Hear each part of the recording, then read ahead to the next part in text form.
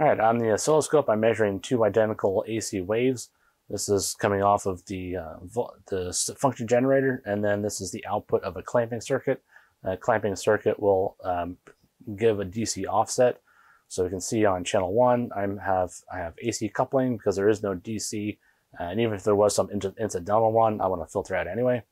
And then over in channel two, I have it set DC because I want to see the DC offset. I want to measure both components. I want to measure the AC as well as the steady state DC voltage of this uh, channel 2.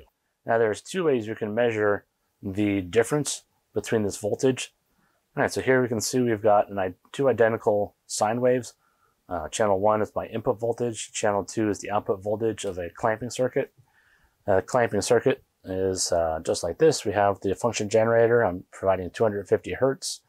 And channel 1 is measuring the input signal. Channel 2 is measuring the output signal uh, of the, the clamping circuit. So basically, I'm measuring both sides of the capacitor. So if I want to know what this DC voltage, the DC offset voltage that the capacitor is adding to the circuit, there's one of two ways I can measure it. Now the first way, which is might be what you're most familiar with, is I can use the cursors. So I go up here and press the cursor button, and then I want to press the cursor button again because I want to I want the vertical and the horizontal.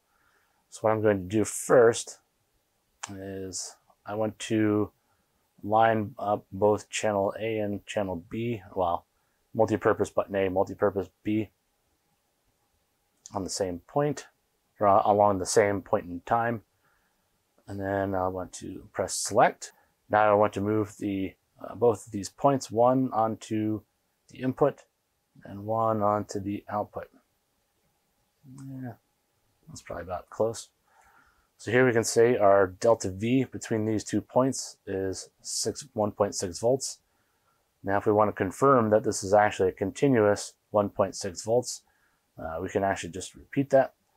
So we'll just arbitrarily move the multi-purpose button A and then multi-purpose, I guess they're knobs, over to here and press select to do the horizontal.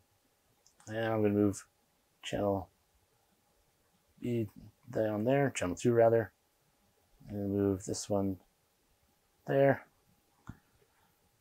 So here, again, at this same point, we have 1.6 volts. So now we can say, at least at these two points, that it is uh, a constant DC voltage. But the assumption might be that it's that's consistent. Uh, but we can actually measure that and know for sure. So I'm going to turn that off. And so what we're going to use is the math function.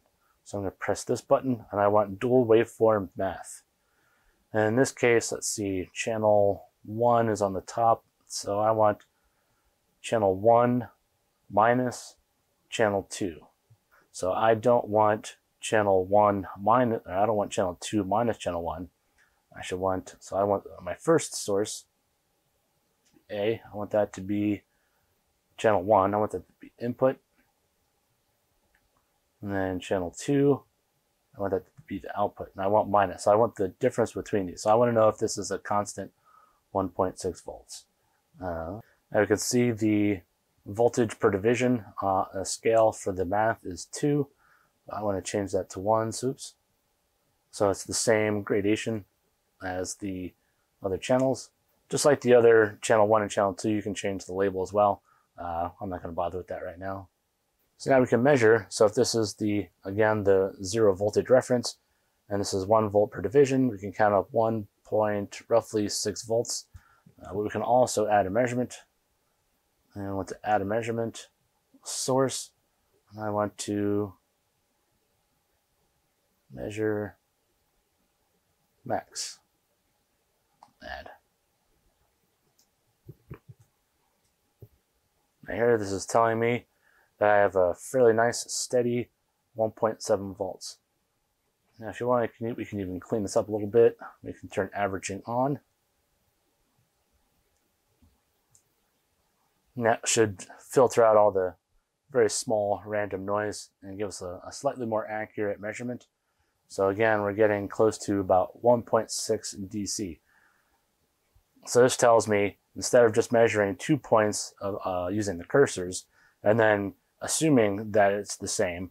You can pretty much see visually that's that's going to be the case, uh, but we can use the instruments to uh, actually measure uh, all of the points across by doing uh, uh, performing math on the waveforms. All right, that's just a little intro to how to do waveform math.